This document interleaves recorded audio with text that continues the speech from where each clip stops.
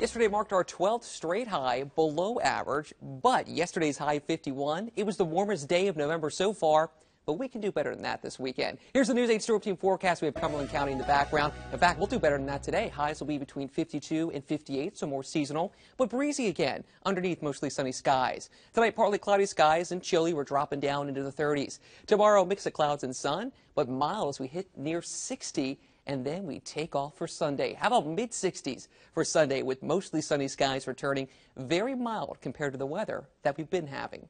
Here's a live look in Lancaster, just about crystal clear blue skies everywhere you look from our Skycam view. 51 right now, and it does feel like 51. Just a breeze coming in from the northwest at 13 miles an hour, so you'll notice that breeze here and there. The pressure on the rise. Anytime we have the pressure up around 30 inches of mercury, that's when high pressure is influencing our weather. Just about everyone between 51 and 52 this noon. As we take a wider look, we'll see where some of that warmer weather is. It's down to our south, and that's what comes up our way. Some temperatures in those 60s and 70s. We won't be quite fortunate enough for those 70s, but we'll make those 60s come around by the end of the weekend. And lots of high pressure to go around the United States. Look at how clear the skies are all the way back into the plains. That's the weather that heads in for the weekend as well. We will have a few passing clouds on Saturday from a very weak area of high, of low pressure, say, but this is the high pressure that really wants to dominate our weather and helps pull up some of that warmer air from the south. So here's Saturday. Here's some of those clouds from that weak area of low pressure that passes to our north, but high pressure just down to our south. Going to take over again on Sunday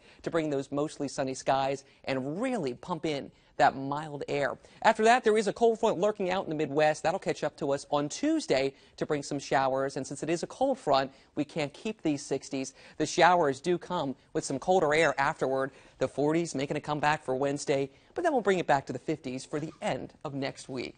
All right. Sounds like a pretty good weekend. It'll be a nice change. All right. Thank you, Drew.